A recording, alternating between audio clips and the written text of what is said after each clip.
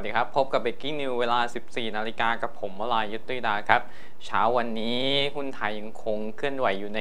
แดนลบแต่งต่อเนื่องครับ ก่อนที่จะปิดตลาดปรับตัวลงไปเล็กน้อยครับ 2.68 จุด หรือ 0.17%ปิดที่ 1,528.36 จุด ด้วยมูลค่าการซื้อขาย 25,710 ล้านบาท ส่วน 5 อันดับหลักทรัพย์ที่มีมูลค่าการซื้อขายสูงสุด อันดับที่ 1 True Corporation หรือว่า True ราคาปิดที่ 13 บาท 30 สตางค์ปรับตัวเพิ่มขึ้นมา 10 สตางค์หรือ 0.76%มูลค่าการซื้อขาย 1,798 ล้านบาท อันดับที่ 2 Jasmine International หรือว่า Jazz ราคาปิดที่ 1,700ขอไว้ครับ ราคาปิดที่ 6 บาท 55 สตางค์ ปรับตัวลงไป 15 สตางค์หรือ 2.24%ด้วยมูลค่าการซื้อขาย 1,075 ล้านบาท อันดับที่ 3 ปตท ราคาปิดที่ 331 บาท ปรับบวกขึ้นมา 1 บาท หรือ 0.30%มูลค่าการซื้อขาย 895 ล้านบาท อันดับที่ 4 ล็อกเล่ ราคาปิดที่ 4 บาท 66 สตางค์ ปรับ ตัวเพิ่มขึ้นมาถึง 24 สตางค์หรือ 5.43%ด้วยมูลค่าการซื้อขาย 798 ล้านบาท และอันดับที่ 5 ธนาคารกสิกรไทยหรือว่า K-Bank ราคาปิดที่ 226 บาท ปรับบวกขึ้นมา 2 บาท หรือ 0.89%ด้วยมูลค่าการซื้อขาย 762 ล้านบาทครับ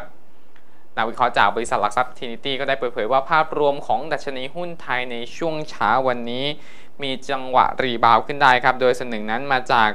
valuation ที่เริ่มเข้าสู่โซนที่น่าสนใจ ขณะที่การปรับตัวลดลงแรงของตลาดหุ้นไทยนั้น ไม่ได้มาจากแรงขายของนักลงทุนต่างชาติเป็นหลัก จึงทำให้ตลาดมีดาวไซด์ที่ค่อนข้างจำกัด ประกอบกับนักลงทุนเริ่มกับเข้ามาลงทุนในตลาดมากขึ้น โดยเฉพาะในหุ้นกลุ่มธนาคารพาณิชย์ ที่เห็นการฟื้นตัวอย่างโดดเด่นครับ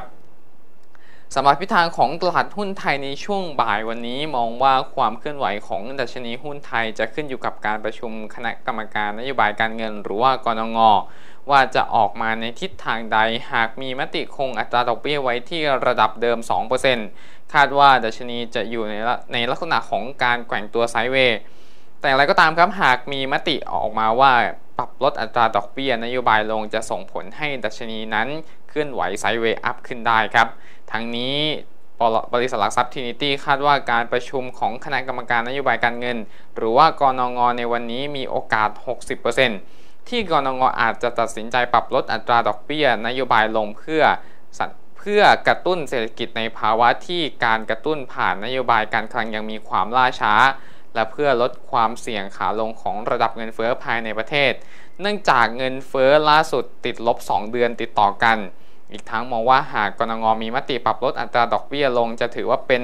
upside surprise ต่อตลาดหุ้นไทย แต่ในทางกลับกันหากกนง.ตัดสินใจคงอัตราดอกเบี้ยไว้ที่